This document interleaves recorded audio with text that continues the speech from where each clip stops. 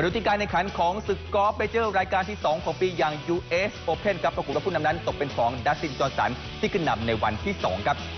ศึกกอล์ฟเมเจอร์รายการที่ 2 ของปี US Open 2016ที่สนามโอ๊กมอนต์คันทรีคลับรัฐเพนซิลเวเนียของสหรัฐอเมริกาครับเป็นการแข่งขันในวันที่ 2ปรากฏว่ามีนักกอล์ฟหลายคนที่ยังไม่ได้ลงแข่งรวมทั้งยังแข่งขันไม่จบด้วย เนื่องจากฟ้ามืดลงไปซะก่อนนะครับ ผู้นำนั้นเป็นของดัสตินจอห์นสันโปรกอล์ฟเจ้าถิ่น กดเพิ่มมาได้อีกหนึ่งอันเดอร์พาร์ สกอร์รวม 4 อันเดอร์พาร์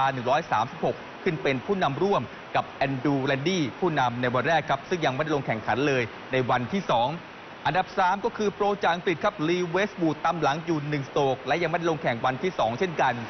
ผลงานของโปรไทยมี 2 คนในรายการนี้ครับ ก็คือโปรอาร์มกิรเดชอภิบาลรัตน์แม้ว่าเมื่อการแข่งขันเมื่อเช้านี้ จะยังแข่งขันไม่จบในวันที่ 2 ตีถึงหลุม 16 แต่ว่าสกอร์นั้นเกินไปถึง 11 โอพาไม่ผ่านกระดับตัวเล่น 2 วันสุดท้ายแน่นอนแล้วนะครับเช่นเดียวกับโปรโตเตกิติพันธ์ช่วยประคองที่ตีเกินไป 12 โอพา